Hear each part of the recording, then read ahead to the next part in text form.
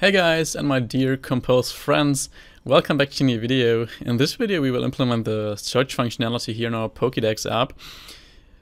Let's see how that works. Say if I just search for Bulbasaur for example, then Bulbasaur displays, surprise. If I search for Mewtwo, then you can see it's a real-time search. That is cool, it's an offline search. The disadvantage here is that, well, it's an offline search. We only are able to search those Pokemon that we actually loaded from our API, that we already paginated. I would love to have a remote search here, but the API sadly does not offer that. So we have to use it like I do here. You could of course load all Pokemon at once and then always find every Pokemon when searching. Um, that would work if you cache your Pokemon list so you really only query the whole list once, then save it locally. Um, that would be fine. Then you could search all Pokemon in a quick way, but that is too much for this course. So I will just implement it like this, like here. So if I search for Dialga, for example, which is a Pokemon, it does not find it because I didn't scroll that far. So let's jump into our project and first of all I actually want to fix a little bug from the last video. Little thing I forgot. Let's launch this up here and show you what is what it is what I'm talking about here. So that is now the app we actually work on in our course and pagination seems to work fine but it actually doesn't. Um, sometimes it calls getting um, a new new Pokemon twice um, maybe we can see that here. You can see here is Nidoking and here is Nidoking again. So it it sometimes loads 20 Pokemon twice and adds these to our list. The fix is very easy. Um, a thing that I actually forgot here in this if condition where we check if we should paginate, we also want to check if is loading is actually false. So we only want to be paginating when uh, is loading is actually false, so when we're not already loading new entries. And then if we relaunch this, we can see now it should actually work. Pokemon should only be loaded once, so you, you saw that. Here is Nidoking, and we only have it once in our list. So that is of course how it's supposed to be. Anyways, in this video we will implement the search, which will be almost solely happen in uh, our Pokemon list view model. And the way this will work is, well, we have our Pokemon list here, which is just a list of all these Pokédex list entries that are currently displayed in our app. Now, if we want to search in our app, we of course need to replace that list with only the search results and when we stop searching, we need to replace it back with the initially loaded results. So we basically just check as long as there is text in our search field. As long as that is the case, we display the search results.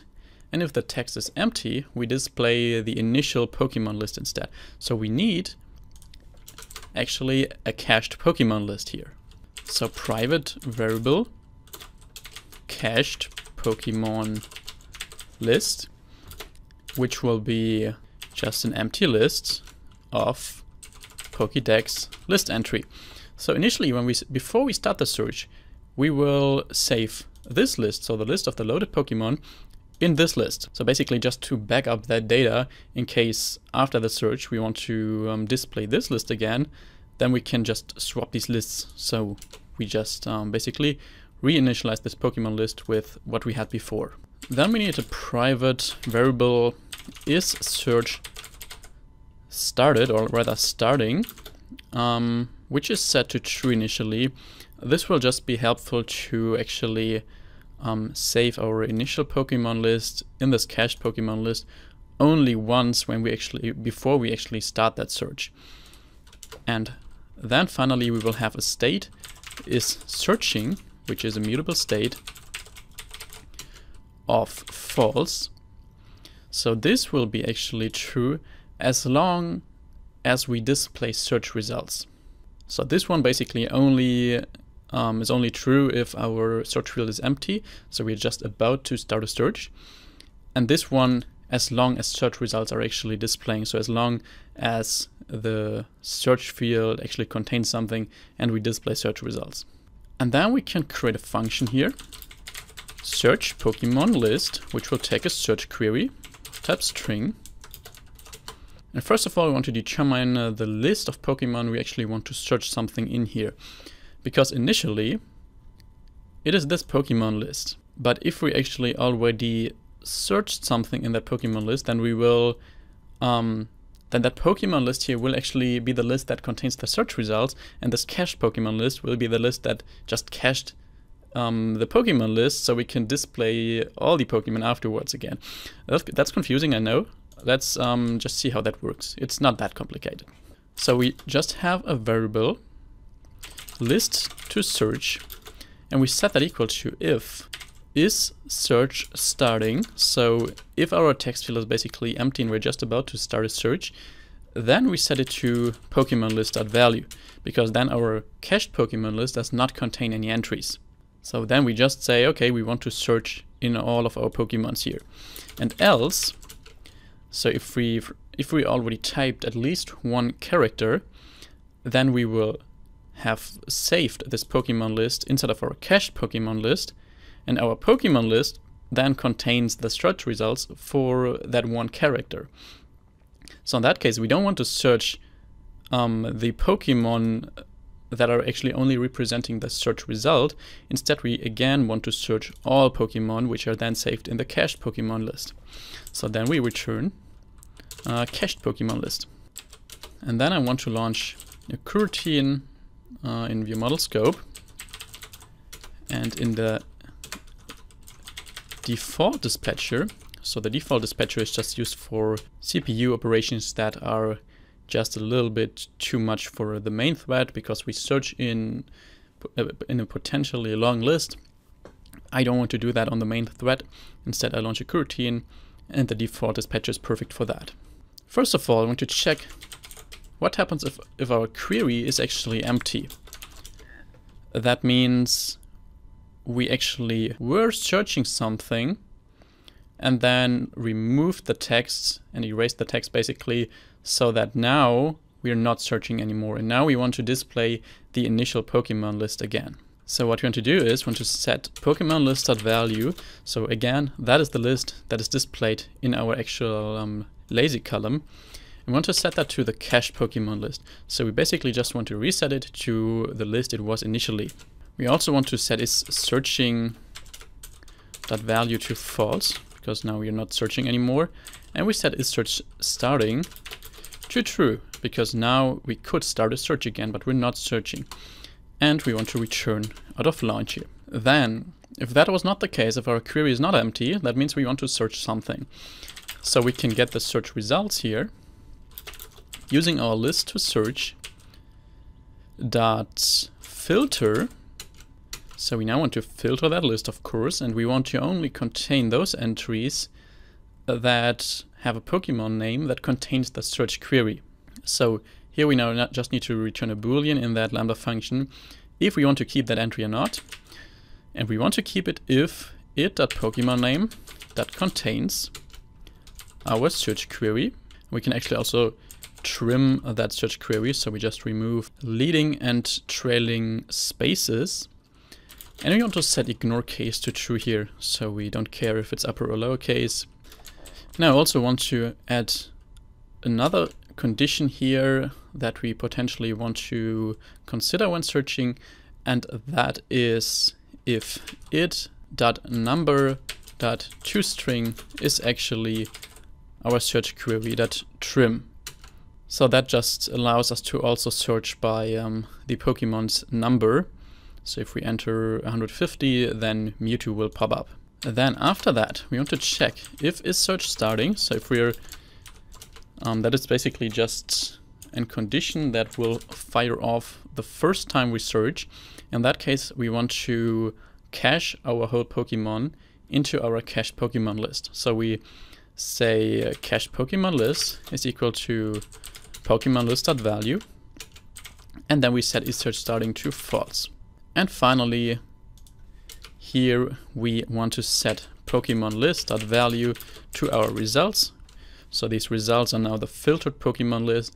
And if we set the Pokemon list.value to these results, these will automatically be displayed in our lazy column because we also use the same list here in our pagination function. And we also want to set a searching that value to true because now we're searching. Then we go to Pokemon list screen. And here where we paginate, let's actually include the, the state first. Val is searching by remember view model that is searching. And then here where we, where we check if we should paginate, we want to include that we are not searching. So we only want to paginate, of course, if we're not currently displaying the filtered results, because then this condition alone would also be true because we scroll to the end of the list. But since we display the search results, we of course don't want that. So then, that is actually it for the search. Let's run our app and see. Hopefully it works. So there we go, it loaded. Let's scroll a little bit.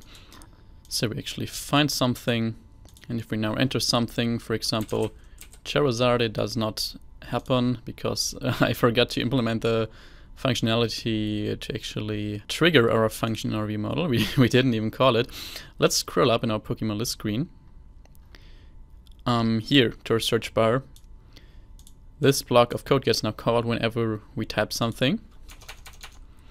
And here we can call view model, which we don't have here. Let's implement that as a parameter. View model of type Pokemon list view model is equal to hilt navgraph view model.